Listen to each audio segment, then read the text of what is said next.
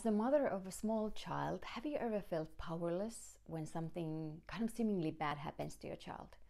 Maybe they have reoccurring nightmares, or maybe they're just restless in the evening because of something that is weighing in, in their mind. Maybe something happened in daycare or at school, and uh, it just keeps going in their head.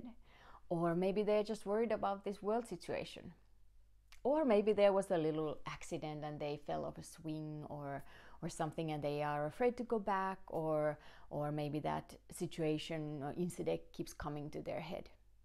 I have a great tool for you for this.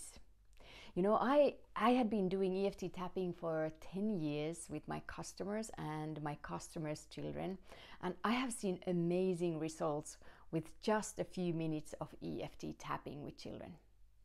So this world is not getting any easier there's all kind of stressors and when these little children that we have now when they grow up they will have all kinds of pressure of you know social media comparison school stress all kinds of overwhelming things and uh, I feel that it's so important for us to teach them now when they're small how to handle these stresses and these overwhelming feelings.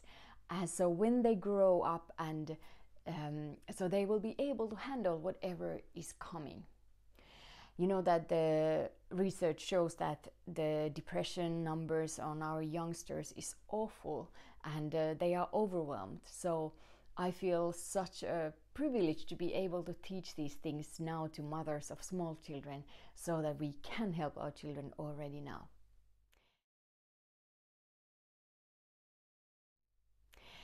And you know how what they say that, uh, for example, in an airplane, that you first have to put your own uh, oxygen mask on and then help your children or whoever is next to you. So my course is working the same way. So in this course, we are going to look at ourselves first because whatever our children are feeling or whatever we are feeling or worried about, our children will feel it too. So that's why I build it so that we first start looking at ourselves, learning the technique on ourselves, and then we can help our children. So I'm really, really happy to share this with you, and you can just uh, click the link below to see more information about this course. So I hope to see you in the course.